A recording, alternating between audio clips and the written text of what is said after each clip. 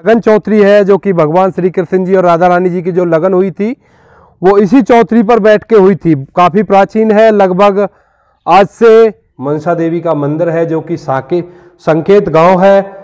बरसाने से थोड़ी दूर पड़ता है वहीं पे। और फ़िलहाल ये बंदरों की वजह से थोड़ा बंद कर दिया गया है। नहीं आपको दिखाई दे रहा होगा आ, पूरा के पूरा एक गेट नुमा बना हुआ है। यही रासमंडल है। जहाँ पे रास रचाया करते थे भगवान श्री कृष्ण जी।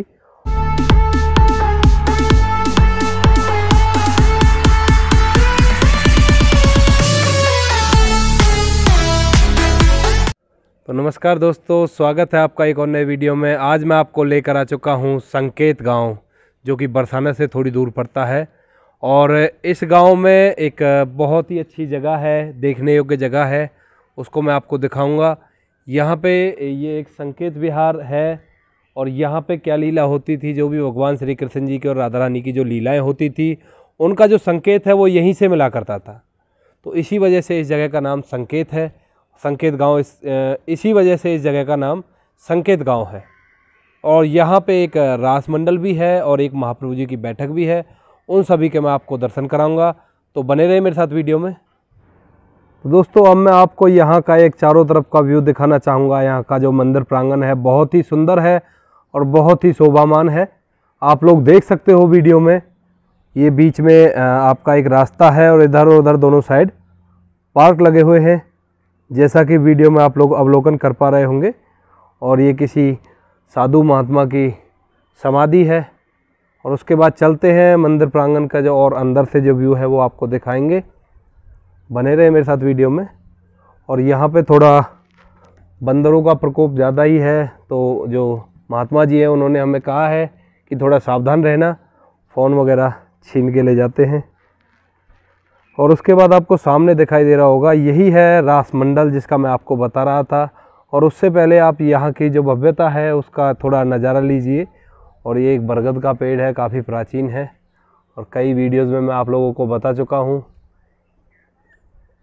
बहुत ही सुंदर है और बहुत ही अलौकिक व्यू है। यहाँ पे आप लोग देख सकते हो। जैसा कि आप लोग वीडियो में सामने देख पा रहे हो, यहाँ का जो मंदिर प्रांगण है, बहुत ही अच्छा सजाया गया है और हरियाली का भरपूर ध्यान रखा गया है। और यहाँ पे कई चीज़ें हैं, उनके भी मैं आपको दर्शन कराऊँगा। जैसा कि यहाँ के जो श्री महन जी हैं, उन्होंने हमें बताया। यहाँ पे एक झूला भी है, जो वज्रनाभ वज्रनाभ जी थे, भगवान श्री कृष्ण जी के परपोत्र। उन्होंने बनवाया था। उससे पहले आप यहाँ का अवलोकन कीजिए, क्योंकि यहाँ के जो सजावट है वो एकदम मन को भाने वाली है और देखने से ही लग रहा है कि बहुत बेहतरीन जगह है। और यहाँ पे बैठने के जगह जगह पर ऐसे वो बनाए गए हैं जो पत्थर की कटाई करके और बहुत ही अच्छी तरह से बनाए गए हैं। और एक ये बीच में जो राष्ट्रीय पक्षी मोर है उसका एक प्रतिमा बनाई गई है। ये भी आप लोग देख सकते हो। इसका एक बार मैं आपको चारों तरफ़ से व्यू देना चाहूँगा, क्योंकि ऐसी चीज़ें बहुत रेयर मिलती हैं देखने को। तो दोस्तों, उसी के साथ यहाँ पर गाँव के दो बच्चे हैं तो इनसे बोलते हैं, बच्चों, राधे राधे!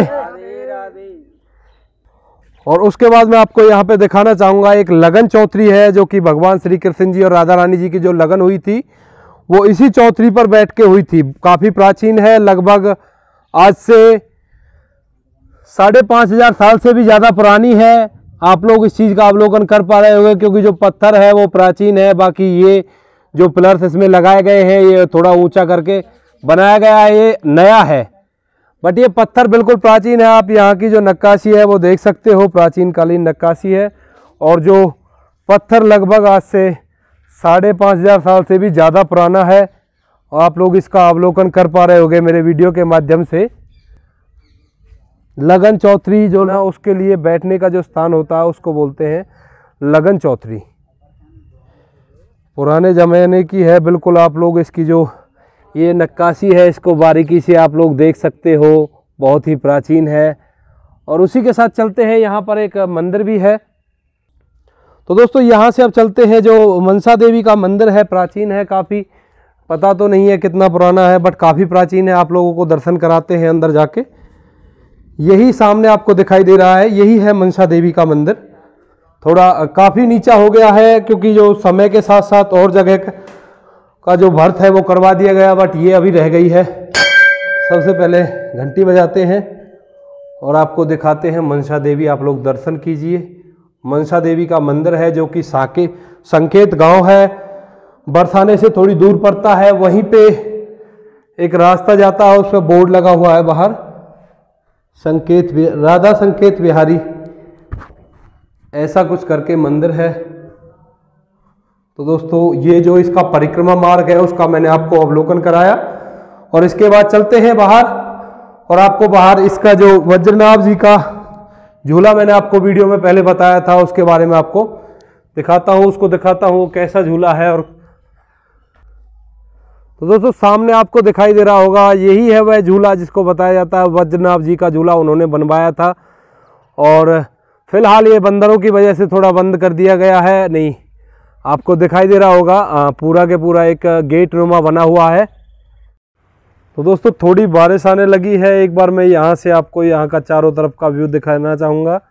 आप लोग देख सकते हो, सामने जो आपको दिखाई दे रहा है, यही रासमंडल है, जहाँ पे रास रचाया करते थे भगवान श्री कृष्ण जी।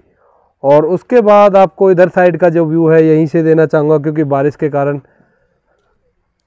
पॉसिबल नहीं है कि आपको वहाँ नज़दीक से अवलोकन करा दूँ मैं।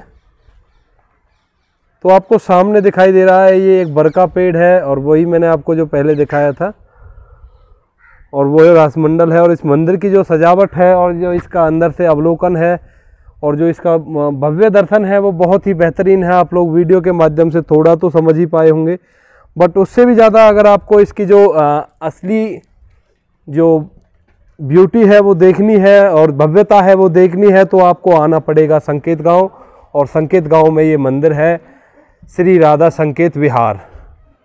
तो दोस्तों, जैसा कि आपने पूरा के पूरा जो मंदिर है, उसका अवलोकन किया मेरी वीडियो के माध्यम से, और पूरा मंदिर था, उसके बारे में मैंने आपको बताया, जो भी यहाँ पे चीज़ें थी, जैसे कि जो राधा कृष्ण जी की लगन लगन शिला थी, एक उसके बारे में भी दिखाया वज्रनाथ जी का जो झूला था, उसके बारे में भी बताया आप लोगों को, और यहाँ पे रासमंडल था, उसके बारे में भी आपको दिखाया और बताया। तो दोस्तों, ये जो पूरा के पूरा मंदिर है, ये है आपका संकेत गाँव में, और संकेत गाँव पड़ता है जो आपका बरसाना है, उससे गोवर्धन वाले रोड पे जब आप आओगे तो लगभग तीन चार किलोमीटर इधर साइड में पड़ता है आपका नंदगांव की तरफ़। तो दोस्तों, बहुत ही बेहतरीन जगह है। आशा करता हूँ आप लोगों को वीडियो अच्छा लगा होगा। ऐसे ही वीडियो लगातार देखने के लिए हमारे चैनल को लाइक, शेयर एंड सब्सक्राइब करें। मैं मिलता हूँ आपसे ऐसी एक अनोखी वीडियो के साथ। तब तक के लिए धन्यवाद। राधे राधे